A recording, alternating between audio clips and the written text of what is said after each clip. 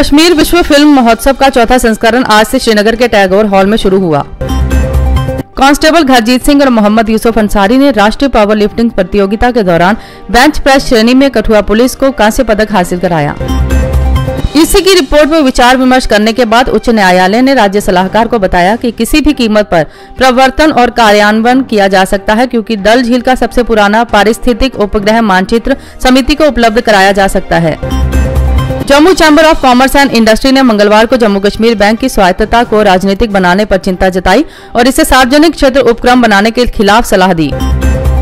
जम्मू कश्मीर के बड़गाम ज़िले के चदरगाम गाँव में आतंकवादी और सुरक्षा बलों के बीच एक मुठभेड़ हुई। अंतर्राष्ट्रीय महिला हिंसा उन्मूलन दिवस के अवसर पर सीआरपीएफ समूह केंद्र बंतलाब में व्याख्यान सह जागरूकता कार्यक्रम आयोजित किया गया। सुरक्षा बलों ने नवीद चट और एक अन्य आतंकवादी को गोली मार दी जट पत्रकार शुजात बुखारी की हत्या में शामिल था।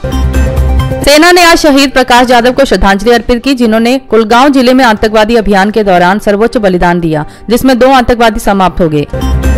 पत्थर मारने की दुर्घटना में दो सीआरपीएफ कर्मचारी घायल हो गए, जबकि सुरक्षा बलों और आतंकवादियों के बीच बड़गाम में मुठभेड़ अभी जारी है। कश्मीर भर में ट्रेन सेवाएँ सावधानी पूर्वक उपायों के लिए लगातार दूसरे दिन भी बंद रही। एचसी ने पीएचई घोटाले में जाँच पूरी करने के निर्देश दिए। राज्यपाल के सलाहकार केवल कुमार शर्मा ने आज यहाँ सिविल सचिवालय में श्रीनगर मास्टर प्लान तैयारी की स्थिति पर चर्चा करने के लिए एक बैठक की अध्यक्षता की। राष्ट्रपति डोनाल्ड ट्रंप अर्जेंटीना में प्रधानमंत्री मोदी और पीएम आबे के साथ त्रिपक्षीय बैठक करेंगे। उत्तरी चीन में रासायनिक संयंत्र के बाहर विस्फोट 22 मरे।